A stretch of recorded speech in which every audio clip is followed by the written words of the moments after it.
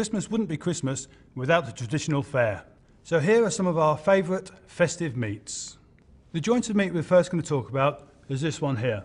This is the new smoked turkey saddle, a fully cooked product, roughly 5 kilos in weight. The joint itself can be served cold on a buffet or warm on a carvery or maybe even used as a sandwich filling. This joint here is a fresh netted turkey breast. This is a raw product to the customer, so it needs cooking. Um, it's boneless, so therefore is easy to carve. Absolutely no waste whatsoever. Ideal in a carvery situation or even uh, as a buffet product.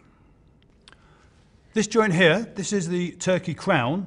This has the bone in, comes to the customer raw, so it does take quite a bit of cooking, but looks absolutely fantastic on a carvery or as a centerpiece on a buffet with a chef behind carving it.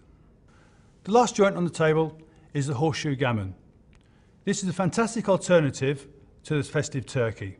The customer has to cook it, comes into them raw, so therefore they have the option of either honey glazing it, studding it with cloves in a traditional manner,